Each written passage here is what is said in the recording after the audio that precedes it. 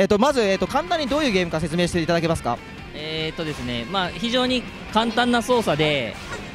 まあ、本当にアクションゲーム並みの簡単操作なんだけども、えーその奥の深い格闘ゲームのその面白さみたいなものを楽しめるように、まあ、より多くの人にあの格闘ゲームの面白さを味わってほしいなっていう、まあ、そういうかそういう意図から作られたあの格闘ゲームですね。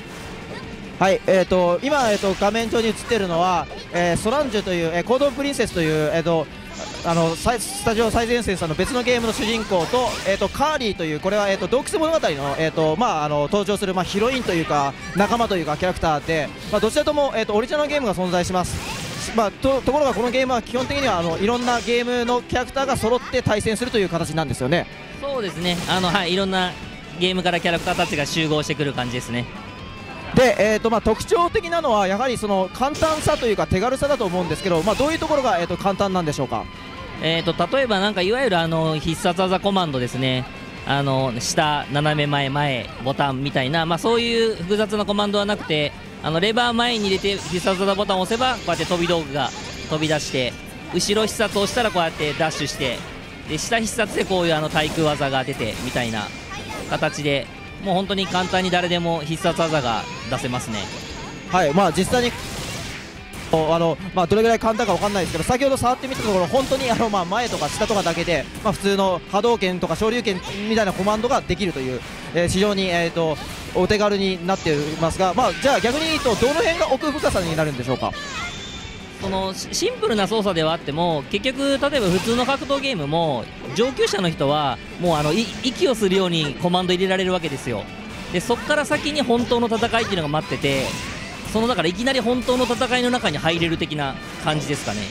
なるほど、まあ、確かに慣れてくる人はもうどんなコマンドでも簡単に出せるんで、まあ、そこからの読み合いがあの発生するということですけどこのゲームだったら、まあ、初心者の方でも最初から、まあ、格闘ゲームの読み合いとか奥深さを体験できるということなんでしょうね。まあ、ということで、まあ、あとは、えー、と結構モーションの方も、えー、いろいろあの見た目がすごくあのぬるぬる動いていますけどその辺も苦労してたんですが。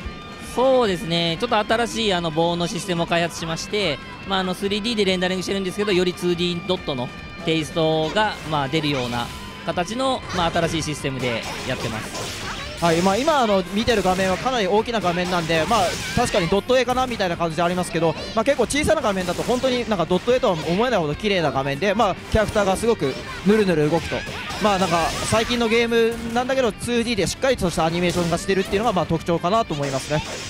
じゃあ、えーとまあ、この辺で、えー、と実際に我々もプレイさせてもらって、えー、とあのいろいろと試してみたいと思います。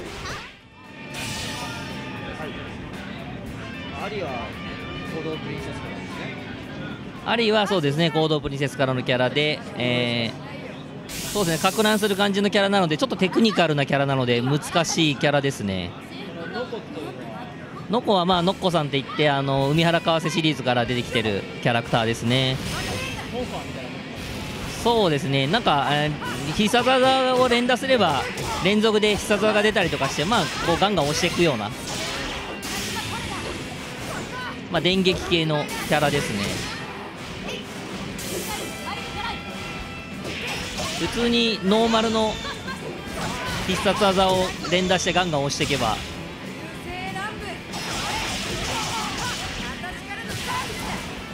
なんかめっちゃやられてます。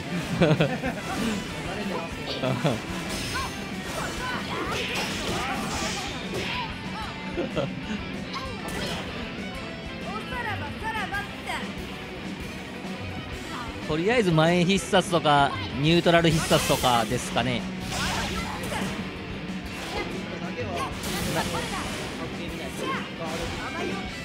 そうですね、まあ、ガードをしたりとかしてると投げられたりっていうのもあるので、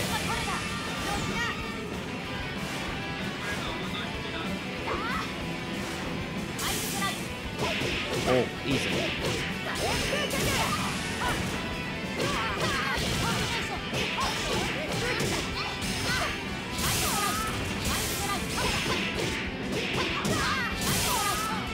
ああいいですね、はい、この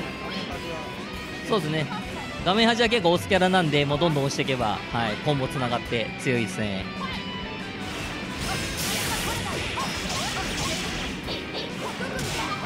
ああとはもう必殺技がヒットしてる最中に3つボタンあの L, L を押しちゃえばウルトラスキルが出るんで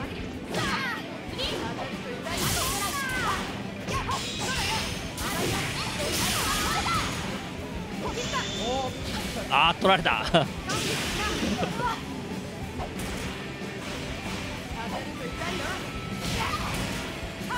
あーなんか大きい爆弾に引っかかっちゃいましたね。